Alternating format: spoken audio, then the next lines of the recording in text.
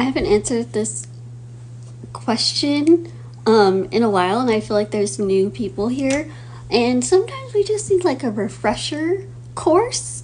Um, and the introduction of this course is um, there when when you're curious about why someone looks the way that they do, there's a certain way that you can ask. Um, and I think it's definitely up to the person that you ask whether they answer it or not.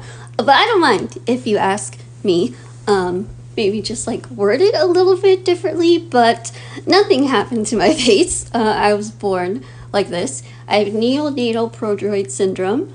Um, basically, I cannot gain weight no matter what I eat um, or what I do. And you would think it's like ideal, like oh, that would be a dream, but you know, it's not. It's it's difficult. It's very difficult.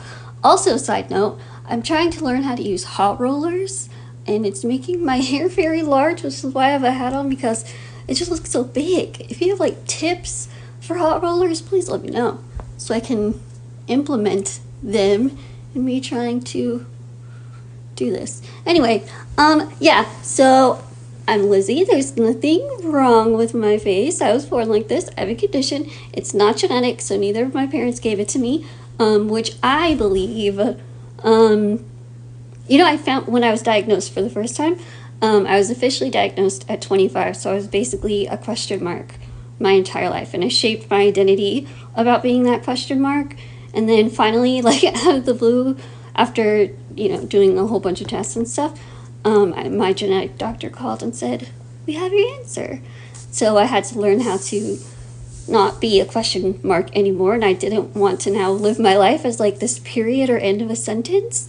So I needed to figure out how can I make my life an exclamation point. And so that's what I'm that's what I'm doing. That's the goal. That's what I'm trying to do.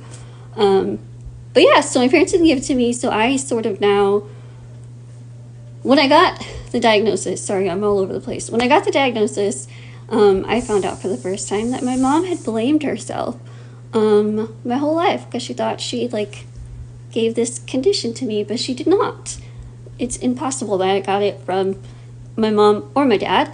Um, so yeah, I don't know. I believe that I was meant to have this condition. I believe I was meant to look like this.